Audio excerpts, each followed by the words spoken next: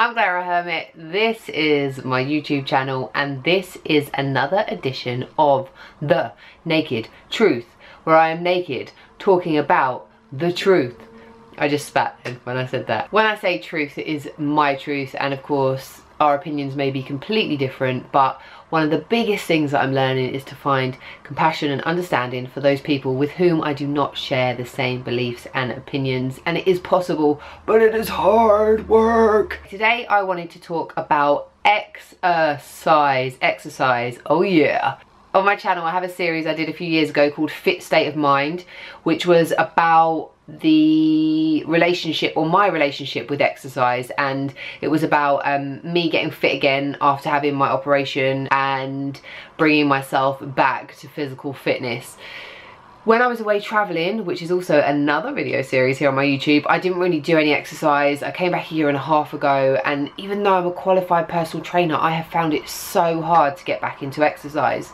I've been going to the gym since I was about 16 and I think I found it really easy to go to the gym because my motivation was how I looked and I was really obsessed with my appearance um, to the point where it was like that's all I thought that was my worth basically so I thought if I didn't have you know if I didn't look good um, then I was worthless basically and that's what I told myself and that's how I thought about myself. That's completely changed now and if you've watched any of my videos you'll probably have seen my kind of like growth and, and the way that I've changed. Um, but one thing that did change is I just stopped wanting to go to the gym and I was finding it really difficult to find any motivation. And since I came back from travelling I've tried so hard like I've been going here and there you know maybe I'll go for a couple of weeks. I've tried training with the trainer and I just haven't I just haven't felt like I haven't had the energy or the drive or the motivation to go to the gym. And I've just felt a little bit like lost because in my adult life it's the first time where I'm like no, I got nothing. I've got nothing driving me. So someone said to me that my because my values have changed and then the motivation is not going to be the same because I don't have the same drivers. So I was like, right, okay, what are my new values and how am I going to get myself back into the gym? And what I realised and what I guess I've always known, but what has now become my new driving force for me going to the gym is the fact that it makes me feel so much better up here. And um, I've spoken about mental health here on my channel um, and my mental health, my uh, depression, anxiety um, and eating disorders. So yeah I think that when I don't exercise I feel completely different and we know that exercise uh, releases endorphins and other chemicals into the body that lift our mood. But there's something it gives me like a certain confidence and it gives me a certain drive so it makes me way more productive. And that's even with doing videos like I haven't been doing videos consistently for ages and I haven't even I was just like oh I don't know who I am I don't know what I'm supposed to do what people don't like it and you know blah blah it doesn't matter. I just I like doing these videos because I like doing them so I'm like, hold on a second. Now I've started exercising, all of a sudden I have this like desire and this drive to, you know, share and help other people and, and try and do the best that I can.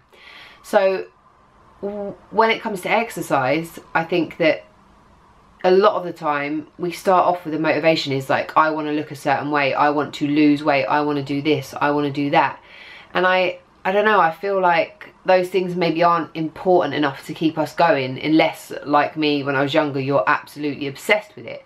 However, knowing that it makes me better mentally, which makes my whole entire life better, my whole entire life, that's not an exaggeration, that is a truth, is what is now making me go to the gym. So when I wake up, my alarm goes off at 5.30 in the morning and I'm like, oh no, please, I just want to go back to bed. I'm like, hold on, no, I don't just want to go back to bed because I've got so much that I want to achieve in my life and I know that one of the biggest steps to helping me achieve that is having this regular exercise routine. So I'm going to train regardless and and once I've exercised even if I'm feeling so rubbish before as soon as I'm finished I'm like whoa! I feel amazing afterwards and that is what it's about Um, my body is also getting my guns back. Mm, mm, mm. And I think in the past, people kind of said, oh, you're too muscly or whatever. Not to that it's up to anybody else how my body looks, but that's, I am strong. And I was talking to my friend about this the other day because she was like, oh, how's your, you know, your gymming going and everything? And I said, you know, I haven't really lost weight, but I'm toning up. And she just said, that's your station. That's you, you're strong. And that's what happens. Like I, I grow muscle quite quickly and I'm like, I'm just strong. Um, obviously I'd like to be leaner and I'm vegan so I'm trying out different diets because I haven't I've been vegan for nearly three years but within that time I haven't really trained properly. So I've never trained properly on a like on a vegan diet. So I'm kind of like trying different things and working different things out. I've just sent my um, boyfriend to the shop to get some chocolate. So things are going well.